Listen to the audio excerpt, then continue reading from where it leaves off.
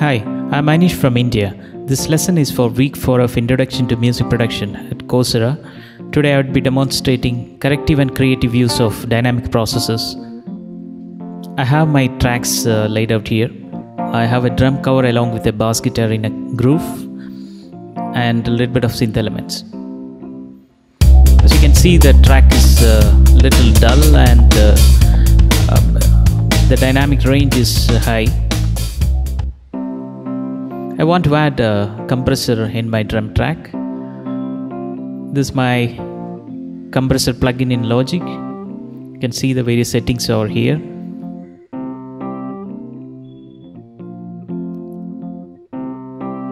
This is my transfer function and uh, threshold settings for the compressor.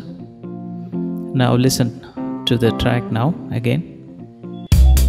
Now you can see the drum track is brightened up can hear more details like uh, hi-hats and uh, the dynamic range is reduced.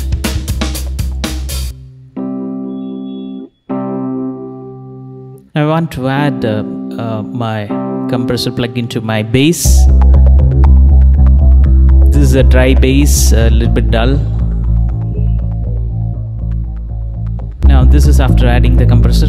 You could see the prominence of notes over here and the dynamic range is decreased. Now listen to the combined track. Now you can see the entire track is brightened up. Even the minor details are visible now.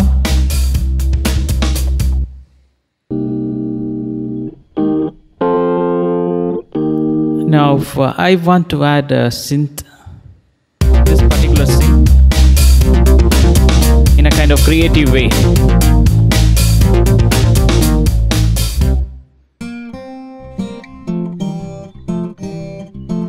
Now for my synth element I would like to get a groove with uh, my drum and bass guitar uh, in a kind of creative way.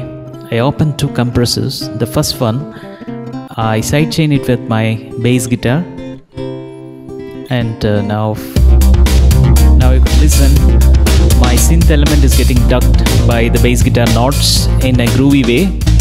The second compressor, I sidechain it with my drum track.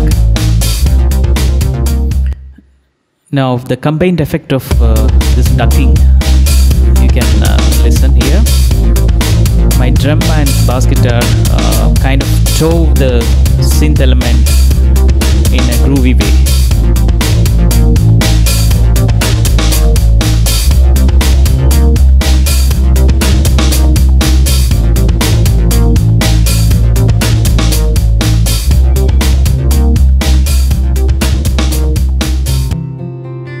for this demonstration I have used a compressor plugin in my Logic Pro 9 uh, to demonstrate to you the corrective and creative use of uh, dynamic processor.